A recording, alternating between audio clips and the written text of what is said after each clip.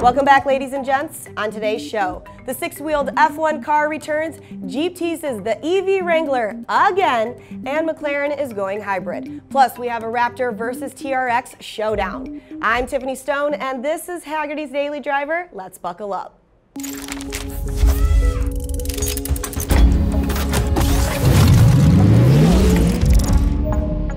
What has six wheels and got banned from F1?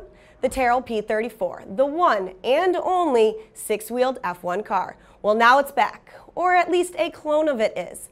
This is a continuation built by CGA Race Engineering.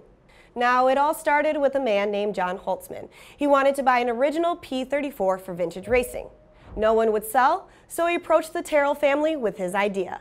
They not only said yes, they gave him the original plans. CGA 3D scanned the original parts and even a frame to ensure it would be as close to the original as possible. Now, the frame required such large sheets of aluminum that they had to buy them from Boeing. But was it worth it? Yes, it was because John now has one of the coolest and most unique race cars ever made. Is it fast? Uh, yeah, it's fast. The original won the 1976 Swedish Grand Prix its first season on the grid, so yeah, once again, it's probably fast. And in other news, Jeep has a new teaser for the upcoming hybrid Wrangler. Man, guys, I really feel like Jeep has been coming out with something new every day since the reveal of the Bronco. What is even going on anymore? Oh, sorry, back to the show. Hey, see if you can spot it in this video. Technically, the paint is what's helping it blend in, right? Well, semantics aside, adding electricity will mean more torque, and that's never a bad thing. Plus, it looks like we will have an EV-only mode, helping you get even closer to nature. This gives FCA a much needed boost in the electrification game. Yes, they have the hybrid versions of the Renegade and Compass already, but nothing makes a statement like a Wrangler. So when can you plug one in at your house? Well, Jeep said the first electrified Wranglers will be in dealerships this December. Happy holidays. And speaking of hybrids, McLaren debuted a new carbon fiber chassis that has a place for a hybrid system. Currently, McLarens are built on something called the monocell, a carbon fiber chassis that was designed a decade ago. Now, it's been the core of the MP4-12C, the 650, the 720, etc. So it was time for some new bones but the explanation on which hybrid system is a little surprising. Now, in an interview with Autocar this past April, McLaren's chief operating officer said the company believes synthetic fuels were a viable alternative to EVs. Now, with that being said, some people thought McLaren would hold off on the hybridization. But he went on to say this that synthetics are still a ways off and that batteries are here now. The last time McLaren used a hybrid system was in the P1, and that result was splendid. I tell you what, if they can bring some of that car's torque-filling magic to its less expensive cars, we definitely won't complain. Coming up, it's TRX versus Raptor. Well, kind of, sort of. Now, we don't necessarily have a TRX here, but that won't stop us from arguing which is better. Our own Nathan Petroelje discusses these two super trucks with Hagerty contributor Bozi Tatarevic but first, Hear me good. Ain't no sheep going across our cattle land. We're coming through. Okay, mister, if you can beat me across the river, your Ford pickup against my prize horsey. You're on.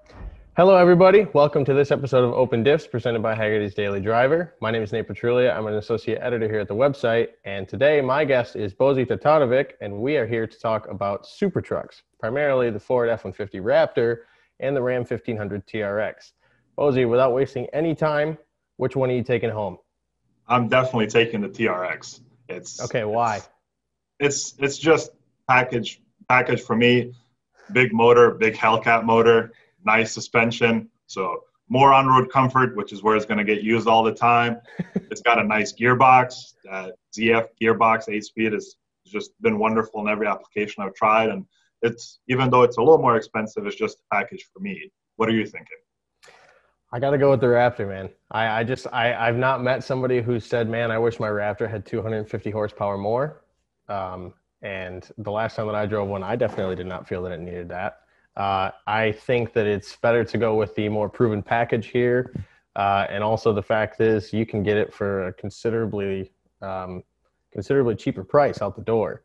So, uh, you know, when you look at kind of the packaging and, and what you could put on a, Ra- or a Raptor, excuse me, um, I think that's more appealing to me as far as features and content goes. Uh, I drove a Raptor around the really awful roads in southern Michigan. Wasn't ever really concerned about ride comfort. I mean, I know that you know the Ram 1500 suspension is kind of you know otherworldly, but I I don't know. I just I'm not sold on needing all of the extra that the Ram is. I can I can see that, and Michigan roads are rough, so maybe you're just kind of tune that into your senses where you know if it's less rough, it's fine. I like I like my North Carolina back roads with nice smooth pavement. So you know, I, don't rub I, it in, man. I, I enjoy those those coil springs, and I can see where you're coming from. And as far as price and all of this other stuff, and power, the TRX didn't need that much power, but you know they got the motor and they can market it you know as a Hellcat truck, so it, it, it you know goes right there. It could probably you know it could probably have done with a little less, but you know, it's it's it's it's their kind of trademark now, so it, it works out. And the price, I understand that too. But if we're in that high range, you know, ten thousand dollars at you know seventy or eighty thousand dollars is not as big of a difference as ten thousand dollars at twenty five or thirty five thousand. So it's you know you kind of get up there and just you know kind of have to look at it. So there's you know there's there's two different ways to go, and I think they're fairly similar. Uh, I'm still gonna have to go with the TRX. And you know, just to wrap that part up is if you sit inside a Raptor and you sit inside even a current regular Ram, the Ram just feels more comfortable and prettier inside. Yeah, it does. I, I, guess I'll give that to you. But it's when you know when I'm bombing over Baja bumps, uh, I'm not going to be ex- or explaining what you know the virtues of a nice smooth interior are and a nice pretty interior. I'm going to be pretty focused on the road. So, aside from having, like we said, 250 something horsepower over top of the Raptor, uh, if you look at the spec sheets on their two, these two together, like they're not that much different. Uh, do you feel that Ram's only play here was just to put a bigger hammer in the front of it and call it good, or do you think that there's other advantages that the Ram has over the Raptor uh, from the outset?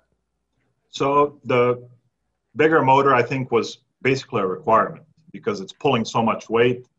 Uh, they would they, they didn't really have another choice. If they put you know something that was matched on power with the Raptor it wouldn't you know it wouldn't be able to perform. So they for the you know they didn't have to go that high but because it's already in their stable and already developed they're like well let's pull this out of here and just put it over here. But they, they would have you know needed at least 150 or 200 horsepower more probably than the raptor just to keep up. But i think the uh, gearbox in the trx i think personally, I would like that. The 10 speed and the Raptor, I'm not a huge fan just because there's so much shifting. Uh, the TRX is going to get the ZF 8HP, which every application I've tried that in has been enjoyable. Yeah. And the variant from what I read on the TRX is actually the 8 HP 95, I believe, because it has so much torque. That's used in the Grand Cherokee with the Hellcat motor and also used in the Rolls Royce Wraith. So really, yeah. So that that that gearbox is able to handle a lot of, a lot of torque and a lot of weight. So yeah, that gives me some comfort that you know it's going to be up to the task of whatever you're going to do with the TRX. Yeah. Now the other big question that I have for you is knowing that the Ram, eh, or excuse me, knowing that the Raptor is uh, really close to uh, the next model year for the F-150 line. Uh, how likely do you think it is that we see the GT500 motor make its way up into the next gen Raptor so that both are on even par with supercharged V8s going at it. That's a possibility, but with the focus of Ford with you know EcoBoost and you know aluminum engines, bodies, and stuff like that, I'm kind of hesitant to say that we'll see it go up there. But with you know marketing and everything being at play, they may be forced to do it.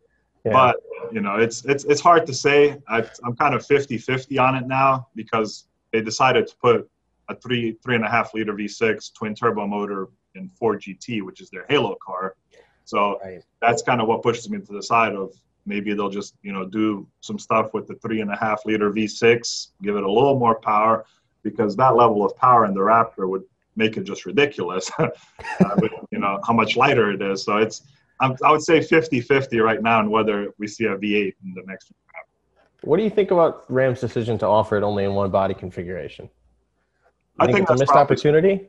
I think it's probably smart uh, because this, like you said, is an expensive truck. There's going to be a very specific buyer for it, and we even with all the off-roady desert type stuff, this is going to be a truck for someone that wants a luxury truck. So this is somebody that would have, in another case, purchased, you know, maybe uh, a BMW M5 if they were a car person, and you know most BMW M5s aren't going to the racetrack, but they're uh, they're being used by people to drive every day. So this is kind of the same deal here. It's going to be somebody that can afford a 70, 80, 90,000 dollar truck that going to drive it every day and maybe a small percentage of those people are going to take it off road and it's going to be in a lot of cases their main vehicle so they're going to take their family in it they're going to go to the store go on trips or whatever which is why i put a lot of importance on that suspension and comfort too so Mhm. i don't think i don't think it's a terribly big deal that there's only one configuration because that's you know